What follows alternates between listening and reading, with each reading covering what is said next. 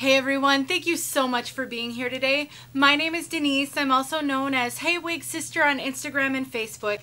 Today I'm here to bring a wig review to you.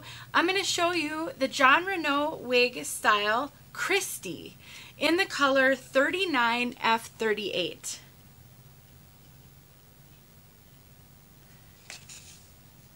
If you want to know more about this fully hand-tied cap, this cute bob style, and this color, then stick around and I'll tell you everything I can about them.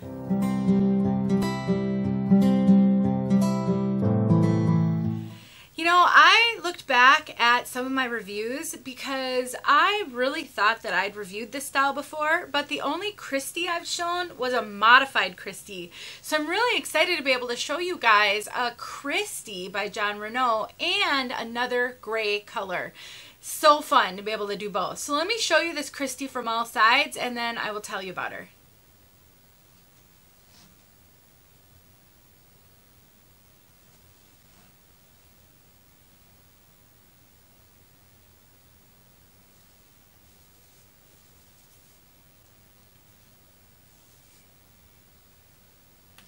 Look at that natural movement. And because Kristi is fully hand tied, you do not have to worry about any wefting showing. So you can play with her.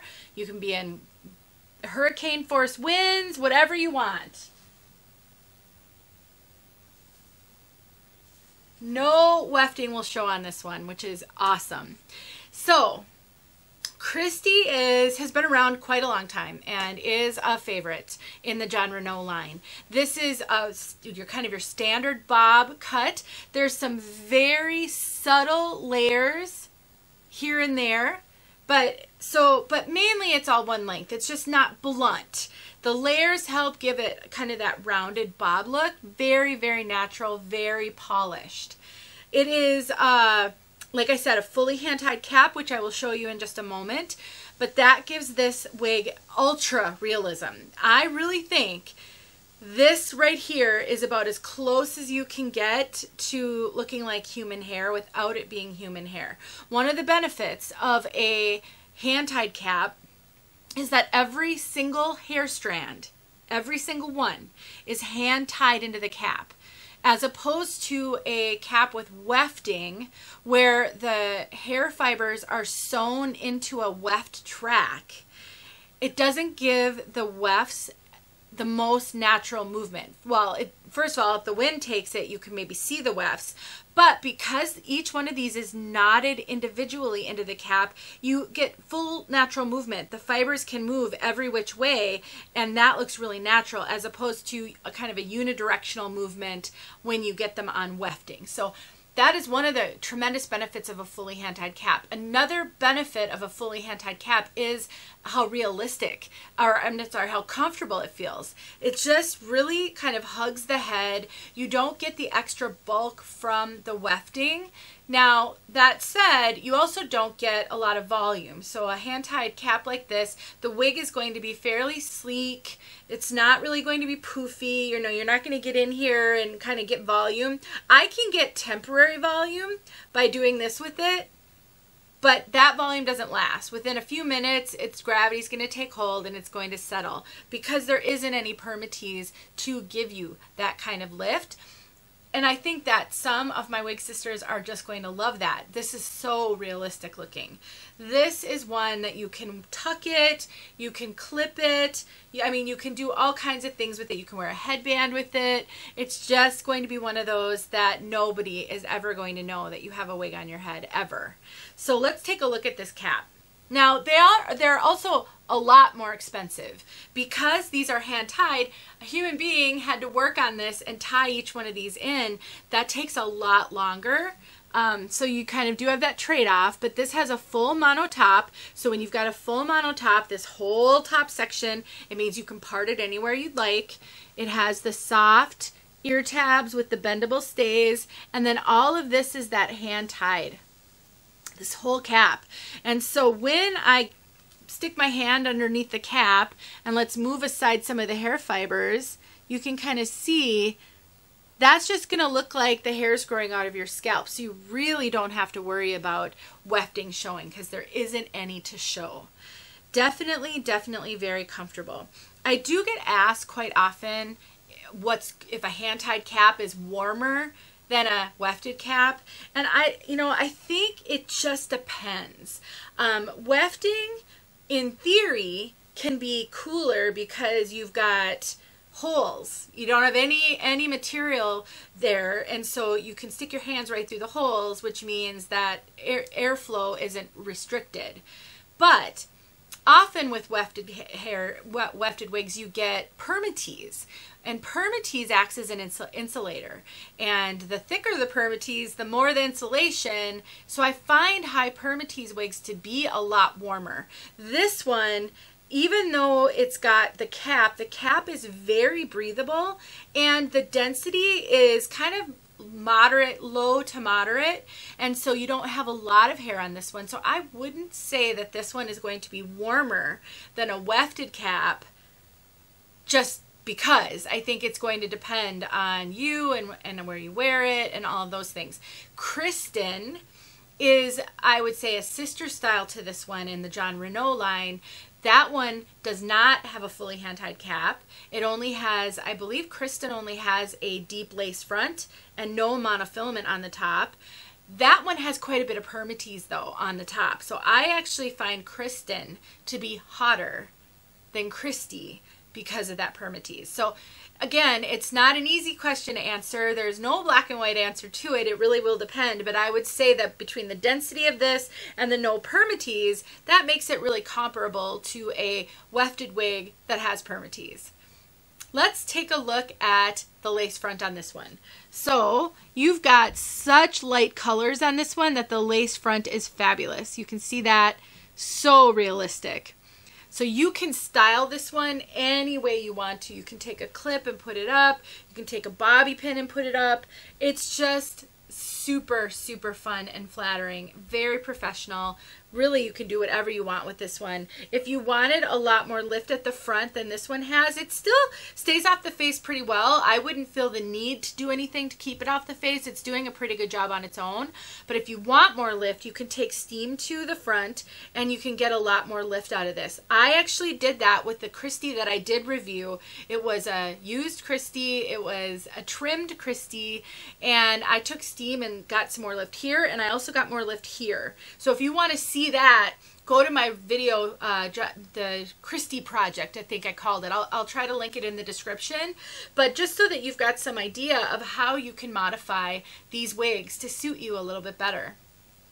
The fit on this one is really quite good. I would say it runs perfectly true to average. You definitely have really good stretch. Every now and then I've seen hand-tied caps that don't stretch a ton. This has great stretch. So there's definitely room to grow on this one. I would say this is going to fit average petite to average large. I really think it's kind of going to kind of run the gamut because of that stretch. The coverage is excellent. You can barely see my bio hair here which is rare. You can almost always see my bio hair on wigs. It's giving me great coverage. The ear tabs are in a perfect place to give really good coverage, but also really good clearance for tucking, for wearing glasses. But again, that's on me and my measurements. You might be different. So keep that in mind and definitely compare your measurements to mine to see kind of where will the length fall on you. I mean, this is a sort of a just below chin length bob on me. If your measurements are larger than mine, it's probably going to be a little shorter. If they're smaller than mine, then it'll be a little longer. That's kind of how it works. If you want to cut bangs into Kristi, you can. So there's quite a bit of hair here in the front, so determining kind of where to start that bang will be one decision you have to make, but I think it would be just fine, and I've seen Kristi with bangs cut in. The only risk you run is if your Kristi has a little bit more lift in the front, you may need to take heat to it in order to get that to lay flat, and because this is not heat friendly, that heat probably should be steam, not um, any other kind of heat, so you don't want to take the chance of melting these fibers. All right, let's talk about this color. F, what did I say? F38, no, 39, F38. 39 F38. I've also seen this called roasted chestnut.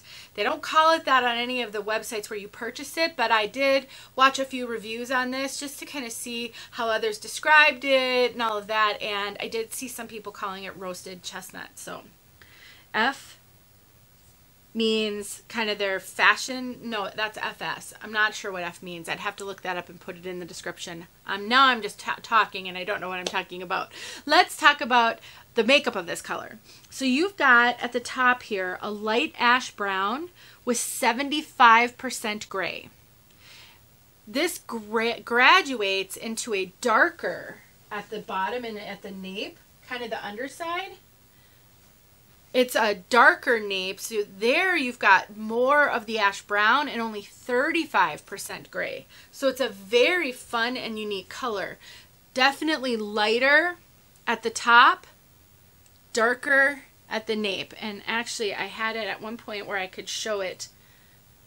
When I fold it in on itself, there you go. You can see that's the top, that's the nape. See how it's darker at the nape, more of the brown, more of the gray that makes it look so realistic because you know when our hair is graying it doesn't all gray at the same rate. And a lot of times you'll get more kind of gray on the top and the nape will stay a little bit darker. And that's what's happened here. Very realistic. It's definitely a, a kind of a silvery gray. I wouldn't exactly call it salt and pepper because the pepper is so light on this part of it but you definitely have like a light ash brown running through with the white, the grayish white color. It's definitely cool, although that brown, every now and then you get the slightest hint of warmth. No red, definitely not red. It's not a warm color, but it's not so, so um, ashy that it looks washed out or dull. It's a very beautiful, dynamic color. It's one of those really pretty grays that if you're blessed to have gray hair like this, you're tempted to just go with your natural hair as opposed to get it colored because it is very attractive. So overall, before I get outside and show you this color outside, overall, I think Kristi is a great wig for someone looking for something very realistic, very comfortable. You don't want anything to give away that you have a wig on your head. And you really like kind of the rounded, sleek bob look. That's who I think Kristi is perfect for. I definitely think this is uh, going to be flattering for a lot of people. So the biggest question is, can you afford the hand-tied cap? If you can, I do think it's worth having a Kristi in your collection if you wear styles like this. I definitely do. I really love Kristi.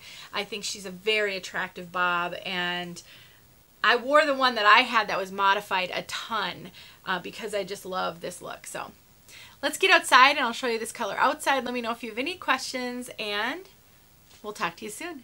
All right, everyone, let's look at this beautiful color out here in the daytime light.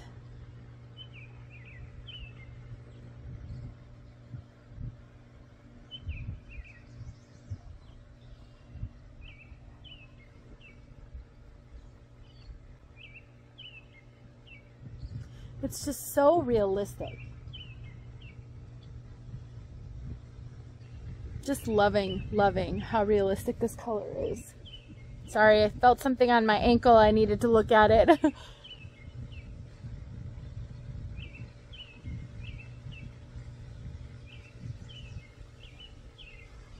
and we have a little bit of wind so you can see how Kristi moves. She's just a really fabulous style, really, really realistic.